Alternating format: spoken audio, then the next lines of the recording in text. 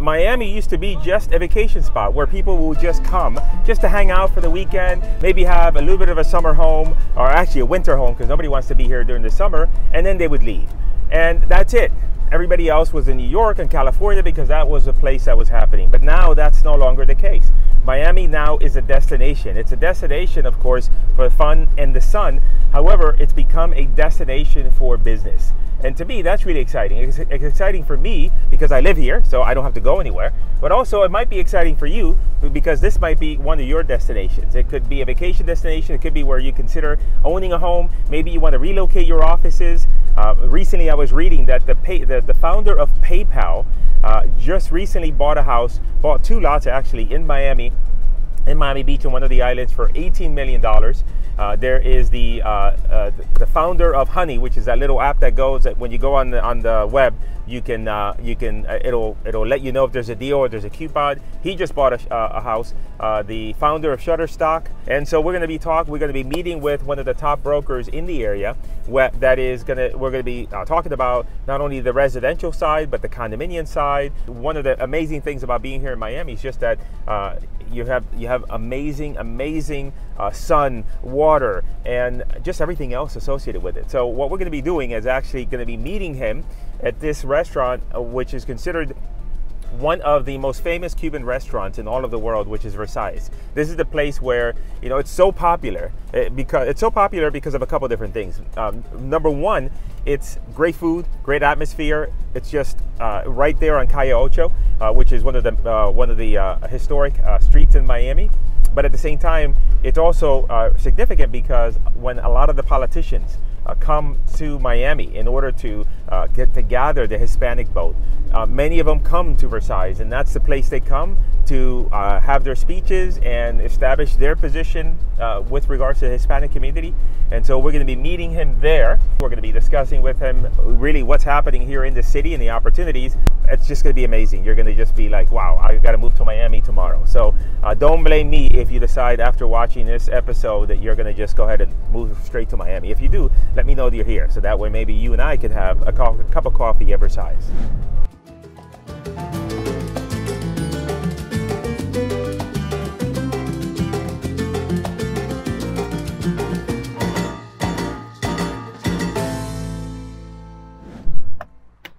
Oh, all right. So we're here in uh, Miami in a restaurant called Versailles, which is one of the most uh, iconic restaurants in the city. And we're going to be meeting Ivan, having a uh, cup of coffee, and then from there, going to go ahead and take a tour of the city. So uh, let's. I think he's right over there too as well. So let's take. A, let's meet up with him. I'll introduce you guys to him, and we're gonna have a fun time today. Ivan, Cris, nice to finally get to meet in person. how you doing? Good, everything great, everything great. I wanted to. Uh, uh, what I said to them was the fact that Miami is such a hot city right now, Yep. and for so many reasons. And I wanted to, while we're together, is really go over that and really talk about the reasons why Miami is so hot and some of the, you know, not just for beach, not, not just for a vacation spot, but for Yeah, all the other reasons, business and everything else. Oh, And maybe they might consider just moving down here permanently. changing. is changing Yes. dramatically. And here's some cafecito, man. Where Yes. Versailles, which is, I mean, what more iconic Miami can it be than Cafe Wow. Versailles? So let's I sit mean, down. We're gonna yeah. sit down at one of the. Is there a spot that we can sit Yeah, down and have this? yeah. All right. So uh, this is uh, referred to as uh, liquid cocaine, Yeah. right?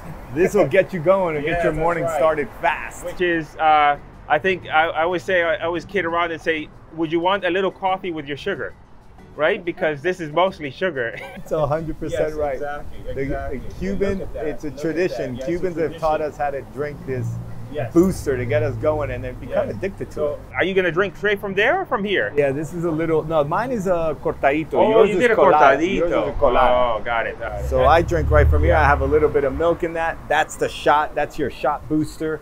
And and and just just right now, what we're doing, the rest of the country is I piling know. snow. I know. I mean, talk about Miami real estate. It's a beautiful, sunny. It's a little bit windy, but it's sunny, and we're having coffee outside. And it's really a shame because I mean, it's it's just really what Miami's all about. But the rest of the country right now is really Yes. battling some snow blizzards. I mean, it's bad. I have two employees who one lives in El Paso, one lives near Dallas, Texas, and uh, and they have to suffer through power power outages and just a bunch of stuff, like you said, related to the winter. And I have friends in New Jersey, and and and they send me pictures of snow, and I send them pictures of palm trees, and they hate me for it. I know. So This is the, Yes. the time of the year where everybody hates Florida. For the, exactly. for the right reasons, but then they wind up coming here because it's just a little too much for them to bear Well, with. that's typically my drink of choice. However, what happened is that I already had two cups of coffee. So I'm going to just start with this one. Okay, let's there you start with go. this. Let's even cheer to Cheers. Miami. This is There how you go. cheer in Miami. Exactly. Ooh, Mm. you're not kidding. Wow, that brings Strong. back fond memories because I don't drink enough of these uh, throughout the week. So, do you have a YouTube channel now or no? Yeah, yeah. We Okay. uh, the, the RS team is Okay. our YouTube channel where we post a lot of our listings and a lot of the things that we're doing in the real it- estate world. Experience. You've been you've been in the real estate business now for 21 years, right? Yeah, I, yeah, exactly. T- Going on 22. Actually, I think it's already 22. I, I I've been in Florida now, South Florida, 40, 40 41 years. 41 years. So I've seen South Florida transform, and and and then real estate 21. I've lived the actual transformation of real estate here. So you started. Uh, uh, when did you get your license? So I got my license in '99. Okay, got it. Um, it, it, I, you know, the, the, the story is I was working for a large plumbing manufacturer, American Standard, which is a huge global, Yeah. worldwide toilet, uh, faucets, jacuzzis, in, uh, fact, uh, manufacturer. And I used to call on developers so they could go ahead and specify my product into okay. their buildings or their homes. And the developer saw something in me as a salesperson. He saw that I spoke Okay. perfect Spanish. And he said, listen, stop trying to sell us. The, the word wasn't toilets, it Yeah. was what comes what goes into the yeah, yeah, toilets. yeah, yeah. And he said, stop trying to sell us that. Why don't you come sell real estate with us? And I got my license and I started selling million dollar condos at a community it called Deering Bay. Yes. I, Uh, yeah. Very beautiful. That was one. That was like one of the initial developments Yes. in this area, Yes. right? Yeah. And so I learned wow. there under some people, people that had been in the industry for a long time. I shadowed them, looked at how they did sales, and and sales is natural. Sales Yeah. is like you know you just learn the product, but you still got to have you know charisma, the drive, a lot of things like that. And then I I be I, thank God I've been in now for 21 years, and I've transitioned from working with developers in house in luxury communities to now owning my own team, which is the RS team, which is my wife and I, Monica Sarmiento and Ivan Ramirez. So the RS team, and then we have people under us, and we represent a lot of clients in the general real estate world. Yeah, a couple of interesting things about that is that you started with Deering Bay, so you, that's a you know the product is you know there's different uh, grades of real estate, right? So the way you sell a you know every market is different. So here the way you sell a three hundred thousand dollar house is much different than you sell you know a million plus you know two million property, right? Yeah. Because of the finishes and the type of client and everything else. So there you've got the education on on that type of clientele, right? Uh, It- it- it's it's listen. It's two things. To me, it was like, first of all, obviously your product, your product Right. knowledge, knowing a three hundred thousand dollar home versus a million dollar dollar home, right? Um, knowing what exactly, and then knowing your audience. You know, your audience. You also got to kind of change. You're appealing to maybe a three hundred thousand dollar home might be a first time home buyer, so there's a lot of emotions. There's you know the financing part. You know you got to qualify them. So there's a lot of details on selling that type of product. And then the million dollar, where it might be a second home or a third home, and you're concentrating on the views and the amenities and the services because these are successful people that have made it in life and they want to finally have their dream home Right. where they could rest and rest. So, but yeah, as long as you know your product knowledge and you know you know the audience that you're targeting to, then your sales pitch is just catered to Caters that. to yeah, that but but I've been very fortunate to do them all. And right now in my portfolio, I have three hundred and fifty thousand dollar townhomes, Yeah. and I have an eight million dollar penthouse in Fort. Lauderdale. So Lauderdale. so I have a, a, a a wide range, and I do commercial as well, Okay. um, which is something that Miami right now is evolving hugely because we've always been seen seen as a second home destination, more touristy hospitality, but really the drivers or the or the business wasn't really coming out of here. And now, you know, unfortunately, we've gone through this pandemic and it has driven a lot of people from New York, from California, from a lot of, you Yeah. know, tech industries, finance industries, always had Miami as a second home or a Yeah. second place.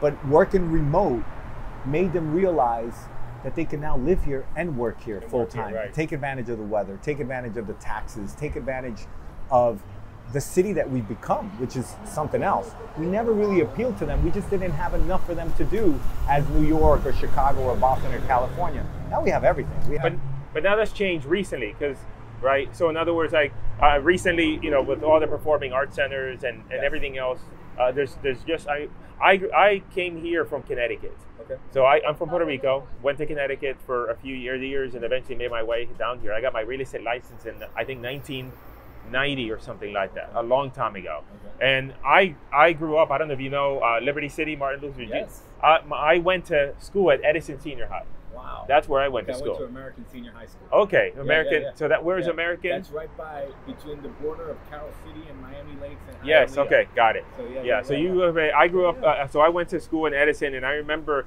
you know, just going down in Little Haiti and all the like.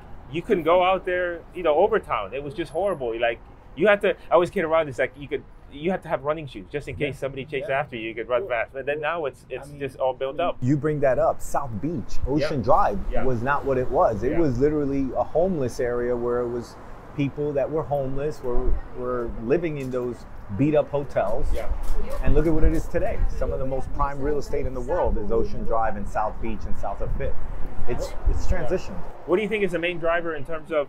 Um, is there one thing or a couple uh, things that you could point to that cause, like people that are coming here that were looking at it as a, you know, because I was telling you about, you know, there's the founder of, uh, PayPal, Yeah. one of the original founders, just bought properties here.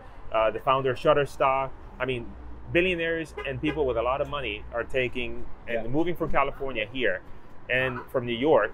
Yeah. Um, and do you think how much is that is pandemic, and then how much is the other factors? So, so I, I've actually, you know, I've been very fortunate. I'm selling a condo office product in downtown Miami Yeah. that is designed specifically for the creative industry. Right. Um, and because of that, I've really dug into, you know, trying to get some of these tech companies um, coming towards Miami. I think the driver, first of all, has always been weather. Right. Those successful people, like the PayPal person and everything, always had a place in Miami to come and hang out or have a good time. Um, so they always had it, but they had it as a second home. But they never really wanted to live here full time because in their office they always had to have their employees and everybody in these main areas Right. and have a Manhattan address or have a Silicon Right. Valley address. They just were nervous about not having their place of work Got there. it. Okay, that makes sense. I think the pandemic really accelerated the decision of them like, you know what, I'm already going to Miami to vacation or just to get away for the winter. It's got taxes is amazing for them here compared to those cities. Especially California. Yes. A lot of people are fleeing California Yes. because of that. And and the pandemic again made them realize that they can operate successfully remotely. Right. And the talent pool now is really also something that they were nervous about Miami with this Oh, edu- right, yeah. education and everything for those type of. And I think our local politicians, our local, you know, government has really made an effort to really increase that and also incentivize some of these companies. So you're right. Some of the most successful tech companies, finance, hedge funders, um, venture capitalists already had a place here. Yeah. They had already bought. Now they're bringing. I'll give you a perfect example. Carl Icahn, guy's Yeah. huge. He had a place in Indian Creek. He's been living there forever. He had it as a second home. Then it became his permanent home. Now he brought his whole company and he has an office in Sunny Isles that, Beach. yeah. It's just like, so it really now, I think what Miami is in for coming to the future, the weather was huge, taxes, now they feel comfortable with the talent pool being able to work remote. You know, they don't have to all be here. And, and, um, and the city itself, everything it has to offer hotels, the best restaurants, the best arts and culture, biggest events, Ultra, um, boat shows, Art Basel. We have worldwide here, events right. where people, Miami's on a spotlight continuously, and they all want to be here. I would think that that will also protect us from, let's say that regardless of what happens in the economy or the other housing markets, that that gives us an edge. Meaning that, um, you know, because you know, in California, obviously they're suffering with a lot of different items, right? Including, ta- you know, they have high taxes, but a lot of people are saying that the quality of life there has degraded. So then that means that no matter what happens in the housing market, we're still going to be may- maybe better off than others because of what we have here. I'll give you a guy from California, uh, one of my clients that I'm representing. He came here and he said, Listen, I'm just going to check it out because I hear a lot of buzz about Miami. I want to check it out. So I just want to rent for six months. Okay. And I'm going to kind of get the feel of South Florida. So he kind of stayed in South Beach, then he stayed in Fort Lauderdale, he stayed in Sunny Isles. And then, like a month into it, he's like, "Man, I'm really loving this city. It's just sexier. It's just so pretty. It's just so nice." Yeah. And and then he's like, "Go ahead, get me a place." So he found a place for six, for six months, two bedroom. Then like a month later, he's like, "You know what, Ivan? I am really in love with South Florida. That's interesting. I want a bigger place." I'm like, "You just rented a two bedroom." He goes, "I want a bigger place. I think I'm here at least for a year, if not two. Oh, three months into this, he's been here three months. He's already looking to buy a home. He's like, "I'm ma- I'm making this my permanent, and I'm thinking of transferring my my office over here." And he's in he's in Cali- he's from California. He's from California. He's, you know, Forbes 30 for 30. You know, in, he's in the tech ad world. Does extremely well for himself, and he's now like a fan of South Florida. He's like, it's it's beautiful. I used to, you know, I used to live in LA, but you know, Miami's just pretty. It's sexy and everything else that it has to offer. So, and the for him, you know, he's a billionaire. What he's saving on money, yeah. taxes alone, Yeah. it's a huge benefit for him. What about uh, I want to talk about, and we could put a link in the description of the video, what you're working on in terms of commercial, because I saw that you had, and, Yeah. and, and the main question I had is, because you had you had started with the one in Aventura, was that your first? yeah, Aventura Park Square. Yeah. Okay, so how is that? So talk about how that that's different than your conventional office space. So yeah, so really offices are usually um, designed for lease. The developers usually design them, and they just traditional offices Right. with your lobby um, and just cubicles, office spaces where people just build them out with their cubicles. Right. Today's office market is catering more towards the millennial, the young generation. Back in the day, our offices were what were we? We were an office. We were a cubicle. We used Like to the hide. office, like the show. Yes. Right, just and like that, you have right. your filing cabinet. You have Right. your pictures of your family. You bring your briefcase in. You have your paper shredder. That's done. You're mobile now. Today's world is like I just need my laptop and I just I need to be moving around. Yeah. So office space and the other thing that office spaces are designed now more is to appeal to that young generation and they're amenitizing the heck out of them. So they're putting think of Facebook, think of Yeah, Google, like think gym, everything you could think of Yeah. at the employee's disposal. Yeah. The gym, childcare, restaurants, um, boxing, you know, all these new Right. wellness, uh, you know, initiatives that are out there now, like CrossFit, boxing, Peloton, those kind of things. They want them in the offices. Uh, recreation areas where they could just go in a nice garden Right. to just to just relax, Yeah. to relax. Um, big conference room areas where where clients could go ahead. I mean, um, employees could could network and, Yeah. and and work together. So you want lounge areas, you want like big open areas. So the offices of today are no longer cubicles. They're big open spaces. They have sofas, make it look like living room areas where you just park your laptop and you collaborate with your employees and you get a big job done together in Right. unison. And you have big, long workstations. It's changed. But again, the main thing, amenitize. Amenities, amenities, because you want your employees to not just get paid, but they want to have a good atmosphere at work because they want the turnover for employers is so important, you know, to train a new guys. They want them to feel at home at the place and have everything that they need at the office. You're also going to attract. That's, that's a plus. Like in other words, if the employee, you know, has an option between a couple different companies and they're really talented, that could swing one uh, could swing the toward Listen, toward the company. In, that industry, they're competing for talent all the Yeah, time. yeah. Absolutely. So you give them a better work environment, greater place, because it's not just the benefits anymore or the pay. What's the work environment? How Yeah. you know? How do we collaborate? How do we grow? Let me see the actual space. Is it you know modern and luxury and ultra with all the amenities? So that's huge. So you started in that uh, the Aventura Park Place was that, but Yeah. now you have another one that is your newest project. Yeah. yeah. And how is that? Are they different? Are they about the yeah, same? Yeah, it's different. Aventura Park Square is a mixed use, so it Yeah. still offers amenities in the complex. You know, Got the retail with all the restaurants downstairs, and it has just one office building. Which is the typical with just the lobby and the offices. Right. This one is in the building, everything that I mentioned. It has all the restaurants, it has all the gyms, it has all the the um, the social areas, it has the wellness, the sauna, uh, steam rooms, massage areas, child lot- child child more. care for the employees. It has it all in the same building and 70,000 square feet of amenities. So Aventura Park Square was a mixed use Got with it. an office component in it. Yeah, this is more. This is just one building, yeah, all building. integrated. So yeah, Integrated, that's that, and, and it's designed specifically for that. Okay, and are these con- are these uh, uh they're purchased, right? They're condos They that are, you purchase. they are for purchase, yeah, which is not typical. Typically, they develop them for lease. Yeah. But this is giving opportunities. A lot of people that are saying, you know what, a lot of a lot of clients from South America, for example, are not used to renting. They like to own their offices. Oh, got it. And so it's common for them to own their office and own that real estate versus leasing. So we kind of are appealing to a lot of South American companies and a lot of South American investors that like to own office space. Or for the office or for the investor that just says, you know what, I don't want to have I don't want to invest just in residential. I was gonna say, is it an alternative vehicle? It's an alternative vehicle. vehicle. for- Okay, got it. because they say, listen, let me, I own five homes that I rent them out. Yeah. Now let me own two offices and let me just diversify a little bit. So they do that as well. I had a question. What do you think is going to happen to the, um, you know, a, a lot of people are saying that the commercial market, you know, everybody talks about the residential, but nobody's talking about the commercial market and how a lot of these buildings, you know, now post pandemic, a lot of the employ, a lot of the employers are saying to the employees, well, you don't have to come in. You don't have to come in all the time. And so then now Yeah. they don't need as much space.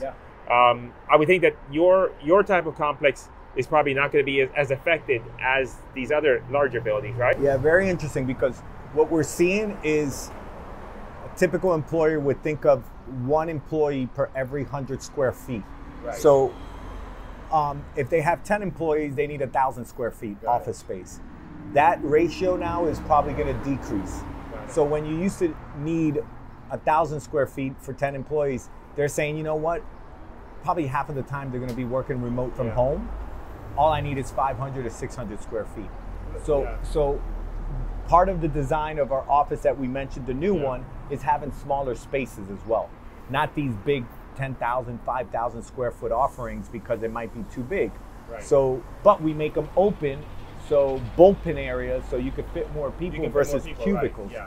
So that's how the office market is transitioning. You're designing more now towards today's reality, which is you're probably not going to go in five days a week, nine to five, and work to five nine to five. right, You're probably going to come in twice or three times a Yeah. week for your important meetings, your important, you know, get your work and go back home.